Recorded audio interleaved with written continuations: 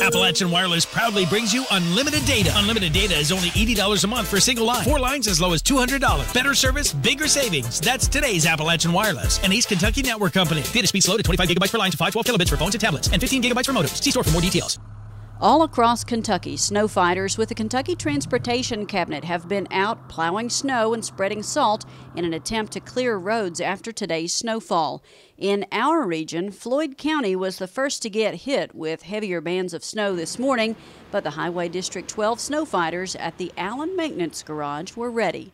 Our uh, section engineers in Pikeville uh, monitor the forecast they give our orders to us. Originally, we were going to come out earlier at 6 o'clock in the evening, yesterday evening, but due to the changing of the forecast and everything, they brought, the, brought our B crew out at midnight, and they, of course, will work till 4.30.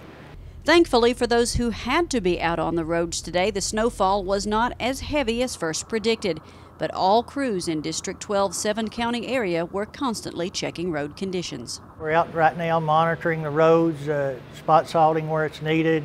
We haven't had anything too much to plow. And to see things through the eyes of one of Highway District 12 snow fighters, EKB News was invited to ride along in Floyd County. And driver Tommy Bays says that he was also relieved that the snowfall was less than expected. Uh, yeah, yeah, it's not been too bad. It's, it's been a uh, wet snow. Um, it's easy to plow off, use the plow a lot.